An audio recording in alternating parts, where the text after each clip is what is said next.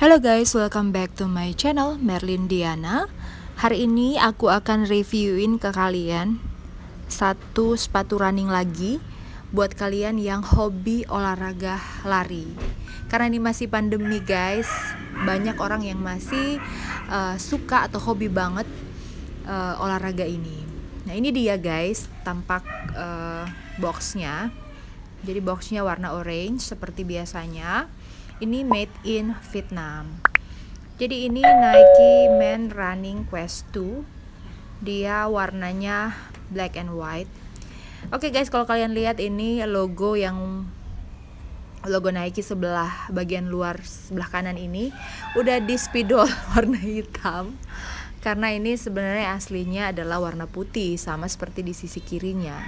Cuman karena yang nggak tahu ini pemiliknya mau supaya kelihatan hitam aja jadi di spidolin oke okay? like that Iya, jadi mohon maaf apabila kalian mendengar ada suara ayam, suara burung, suara anjing menggonggong ya seperti itulah ya kan, anjay. Seperti inilah di perkampungan, guys. Oke, okay, kalau kalian bisa lihat ini di bagian dalamnya ada ini apa namanya ya ada informasi ukuran ya informasi ukuran. Oke terus solnya ya menurut aku nggak terlalu empuk ya. Terus uh, talinya ini warna hitam putih ya.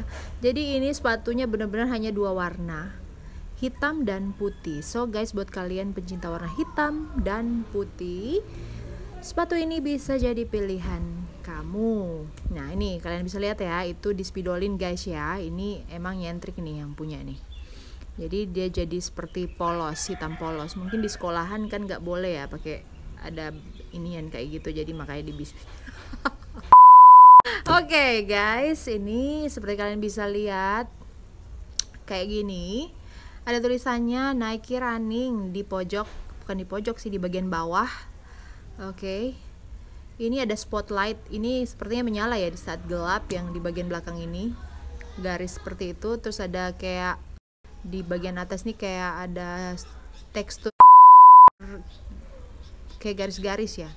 Sama untuk uh, sepatunya itu breathable ya. Jadi untuk sirkulasinya baik katanya kalau untuk lari bagus. Ini yang punya olahragawan nih baru selesai lari ya guys hujan-hujan tapi ya seperti itulah. Lagi hobi jadi walaupun hujan becek nggak ada ojek tetap saja